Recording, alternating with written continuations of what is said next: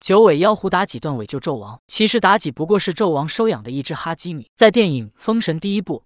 结尾第一个彩蛋中，九尾狐在死伤无数的殷商士兵中，急切寻找它的主人殷寿。见到惨死的纣王，九尾狐神情透露出的惆怅，更像极了宠物失去主人那种哀伤，干脆从妲己体内跑了出来，现出了它九条尾巴，开始用舌头不断舔舐对方的伤口。细心的观众可以发现，此时九尾狐的尾巴正在慢慢消失。传说九尾狐每救一个人的命，自己就会断去一条尾巴，必须再经过一百年修炼，才能长出新的一条尾巴。为了救个凡人，九尾妖狐付出的代价和牺牲这么大。更多是因为动物懂得知恩图报。在电影《封神》第一部设定里，九尾妖狐不再是原著中受女娲的派遣，为了完成作业去毁灭殷商王朝，而是因为他身上流着纣王的血。殷寿在讨伐苏护之战中发生雪崩，妲己见家族成员灭亡，也跟着自尽身亡。殷寿一路打到轩辕坟外，身上的血刚好滴到了轩辕坟内。狐妖多年前被殷寿的祖先封印在此，只有他们家族的血才能唤醒九尾狐。就因为这滴血，九尾狐得以重见天日，借着苏妲己的尸体体回魂。刚来到人世间的狐妖，即便修炼千年，可是却不谙世事，对于人世间都很陌生。但是作为动物，它并不知道怎么去分辨人世间的是非对错，更多是想去报答那个让它重获新生的人。电影《封神》。重新为妲己人设做了定义。用现在的话说，妲己不过是纣王身边一只哈基米。只要纣王三餐将他喂饱，能给他一个遮风避雨的家，那他便认定这个男人不计一切代价忠诚于自己的男人。虽然相较于原著改动较大，但这让妲己接近纣王的理由更加有说服力。关于妲己断尾救人，不得不说到关于八尾猫的故事。传说猫到九尾的时候便能羽化成仙，但是每当猫长到第八条尾巴的时候，就必须去到人间满足一个凡人的愿望。可是愿望一旦实现，猫就会少掉一条尾巴。为了飞升成仙，猫不得不再次潜心修炼，如此循环往复。猫很郁闷，质问佛祖：这样下去几世才能修成正果？可是佛祖却拈花一笑，不言不语。在一个大雨滂沱的夜晚，一个小男孩惨遭狼群围攻，幸好被八尾猫所救，保住了小男孩一命。八尾猫告诉小男孩，自己能帮他实现一个愿望。可是小男孩暂时想不出来自己到底需要些什么。于是小男孩让八尾猫先跟自己回家，等想到了再告诉他。八尾猫便化身为普通猫咪，暂住在小男孩的家里。小男孩深夜做了个梦，无数的人向八尾猫许愿，是一场无止境的轮回。在这场轮回里，八尾猫支离破碎，化为乌有。小男孩从梦中惊醒，看着八尾猫孤独站在窗边，孤独的背影，小男孩不禁心疼起来，一滴泪从男孩脸上滑落。此时他才明白八尾猫真正想要的是什么。于是男孩这晚告诉八尾猫，自己已经想到了那个愿望，便是让八尾猫拥有九条尾巴。话音刚落，八尾猫多了另外一条尾巴，终于修成了真仙。此刻九尾猫深情靠在男孩身边，终于明白了佛祖的用意，在千万人之中寻找一个真心人，一个真心愿意成全你的人。或许九尾狐在轩辕坟被封印的孤寂岁月里。也希望有天会出现一个人，那个能够成全他、给他自由的人。假如自己能重见天日的话，一定会无条件报答这个人，无论他是善还是恶。而这个人出现了，他便是阴兽。其实动物化身成人前来报恩的故事，在中国神话传说里并不罕见，最典型的就是民间传说。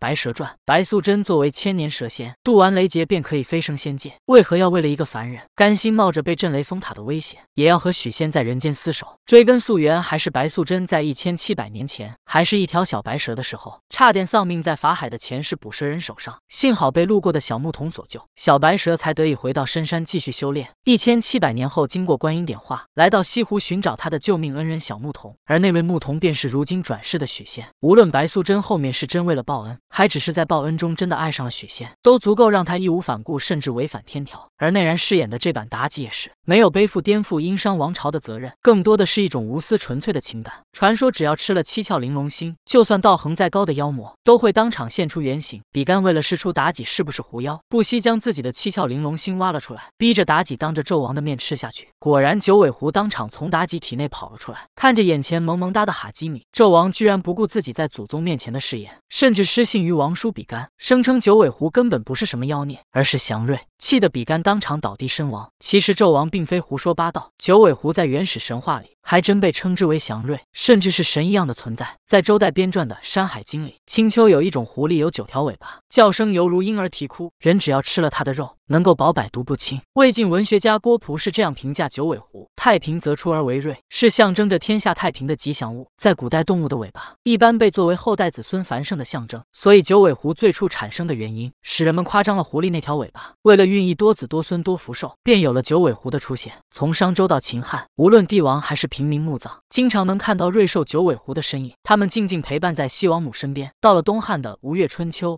有这段记载。相传大禹治水有功，可是三十岁了还没有娶妻生子，家里催婚是催急了。途经涂山的时候遇到了一只九尾狐，涂山的人民都认为九尾狐乃是吉祥的征兆，于是大禹在九尾狐的启示下迎娶了涂山女子为妻，在当地传为一段佳话。在原始神话故事里，九尾狐是能决定国家命运的。对于九尾狐的出现，也预示着大禹会成为天子，跟涂山女子成立家庭，绵延子孙，成为夏朝国君。可随着时间的推移，狐妖的形象也慢慢发生改变。郭璞的同行干宝是中国古代志怪小说的顶流写手，对于黑化狐妖设定，他算是做出了巨大的贡献。他觉得狐狸和猪狗牛羊比起来，跟人的亲近度不够，比起豺狼虎豹。狐狸更是没有他们的威慑力，这家伙喜欢偷鸡偷鸭占别人便宜，基本可以说留给人的印象相当差。在那个年代，文人备受压迫，以致他们现实中不敢随便说话，只能寄托于神仙之类的东西，产生了凡人修仙的说法，以此来摆脱社会带来的各种压力和约束。既然都可以修仙学道，那妖怪跟他们之间的距离就拉近了，自然而然对妖怪也没什么敬畏之心，也不再把狐妖当成什么神圣的东西。可以说，人类文学思想已经进入了叛逆期，狐妖这一黑就是黑了一千年，直到明代的神魔小说。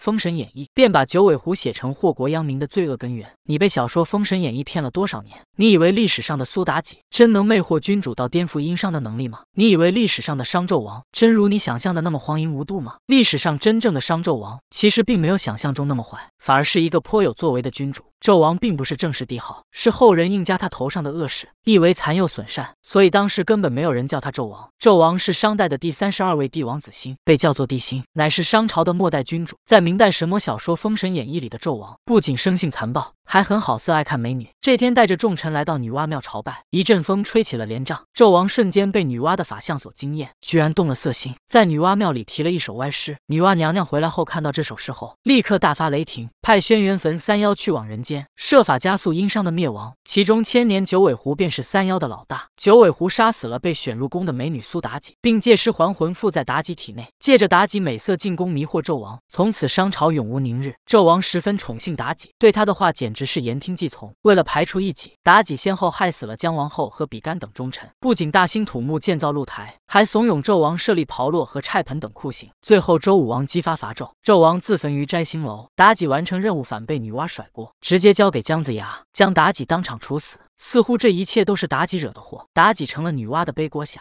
历史上真正的苏妲己其实并不姓苏，而是己姓。由于出生于苏氏部落，被人称之为苏妲己。据说此女长得艳若桃李，颇有姿色。本部落的村民也是安居乐业。直到公元前一千零四十七年，六十多岁的帝辛对该部落展开进攻，不仅抢走了部落的金银珠宝，还将美貌的妲己掳走填充后宫。此时的妲己年仅十六岁，试问一个十六岁的少女如何祸国殃民？由于妲己聪明伶俐，身得六十多岁的帝辛宠爱，这也让后宫其他妃嫔心生嫉妒，于是将各种祸国殃民的罪状全部栽赃在妲己身上。可怜的妲己只能是委曲求全，背负这个罪名了。而历史上的纣王，并不像小说里那么昏庸无道。总结起来，商纣王还是一位颇有雄才大略的君王。他在位期间，将进犯中原的东夷打败，维护了国家的统一和稳定。有段时间，老百姓对这位君王颇为敬重。关于他残暴荒淫的看法。其实大部分是受小说和影视剧影响。纵观当时的历史条件，阶级剥削其实也算商朝整个统治阶级的缩影。当时商朝的奴隶主阶级是相当发达的，被抓来做奴隶的人数相当庞大。这种现象早在纣王在位时早已存在。如果将这个黑锅全部丢给他，确实不太公平。商朝走向灭亡，其实也是社会矛盾的累积，只不过到了纣王这里彻底爆发罢了。当然，在电影《封神》第一部里，纣王本身野心就很大，就想成为天下的王者，而且还是个高智商的君王。而被骂红颜祸水的妲己，在这部电影已经彻底洗白了。纣王从轩辕坟放出了被封印的九尾狐，九尾狐附身在妲己尸体上，伺机来到纣王身边报恩。面对这个野心勃勃的男人，妲己是最懂他的人，只是唤醒了一头野兽罢了。纣王一开始在军营就想杀死妲己，毕竟留一个叛臣的后代在身边，始终都是一颗定时炸弹。这里可以看出，这版的纣王并不好色。可是当看到妲己不仅能为他治伤，还轻而易举看穿他的心事，纣王决定将这个女人留下来做自己秘书。这么看来，妲己更多是纣王身边的小助手，更像他养的一只宠物。从导演乌尔善的角度来说，做这样的改编更多是为女性发声，因为他反对在那个男权社会把所有罪责都推在了女人身上，这样显得很不尊重女性。内然饰演的妲己己。不再是红颜祸水，而是懂得知恩图报的哈基米。真正腹黑的，还是那个野心勃勃的纣王。